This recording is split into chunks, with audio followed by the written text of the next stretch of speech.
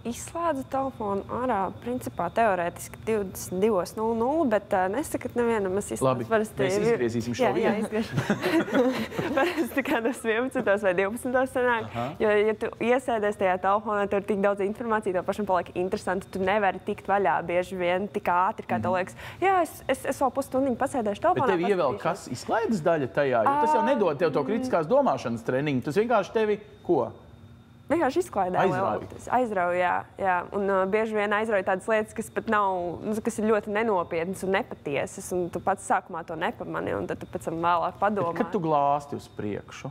Nu, tu taču nepadomā, mmm, reku bija tā lieta, kur man jānoskaidro no vēl trīs lietām, jo tā ir kritiskās domāšanas pazīme. Uzzināt kaut ko, un tad paskatīties no eh, citiem as aspektiem. Tu taču tā nedari. Tu vienkārši noglāsti vai iešēro, ielaiko nākamo kaut kādu tēmu, kas tevi, piemēram, aizrauja.